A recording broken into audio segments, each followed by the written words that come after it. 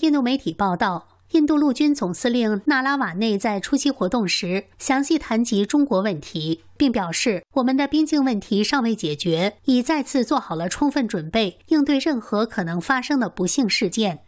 纳拉瓦内认为，印中边境冲突将会继续发生，直到双方达成一个长期的解决方案及边界协议，才能使边境地区实现持久和平。